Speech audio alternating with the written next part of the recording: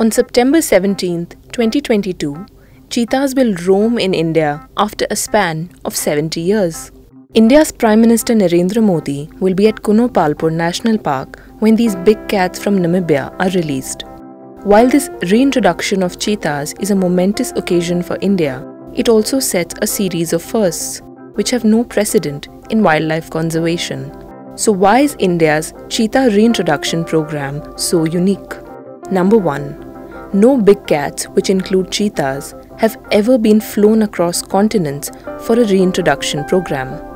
The flight of the 12 cheetahs from Namibia to India will become the first intercontinental translocation of a carnivore. Till now, cheetahs have only been translocated to various sanctuaries within Africa.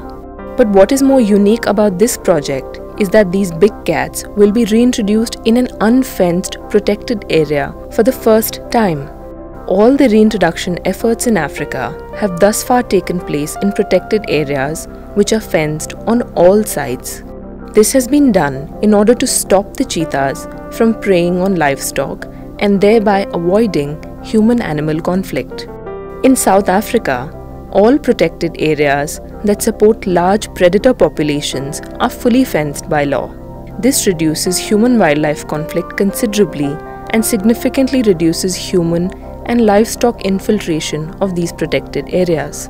Conservationists are hopeful that the cheetah reintroduction program will work in India as the Kuno Palpur National Park has a core area which is largely free of human or anthropogenic activity. India also has a functional compensation scheme for the loss of livestock to wild predators, which the wildlife experts believe will deter retaliatory killing of the big cats by livestock keepers living on the fringe of the national park. The success of the cheetah reintroduction program will depend on how well these animals breed inside the national park. Experts believe that one female cheetah can birth up to 15 cubs in her lifetime. If cheetah reintroduction into KNP is successful, it will lead to more expansion efforts for the species.